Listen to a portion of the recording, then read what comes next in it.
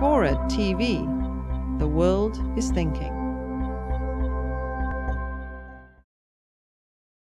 President was visiting India. I had the pleasure of joining him, and uh, he had the experience to communicate with a, a, village that had no indoor plumbing and had no infrastructure, but had 4G WiMAX and had fiber to the panchayat.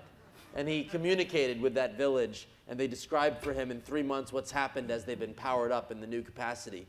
Unbelievable stories about uh, how they've been able to liberate some of their experiences. And uh, the president literally said that he's witnessing this leapfrogging of what's happening. They didn't have any infrastructure at all, and they're looking at how they might deliver education differently, healthcare, and so forth. And so it's an exciting opportunity for American innovators to bring our creativity and entrepreneurial spirit to solving the big problems around the world. That is an exciting problem for Americans to engage in and solve.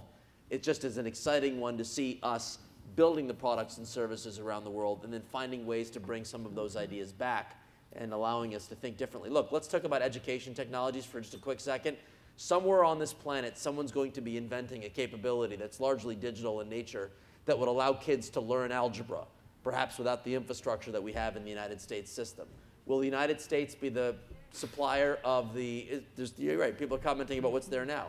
I visited the Khan Academy visit in Los Altos today. Look, will the American economy produce those products and services and export them around the world?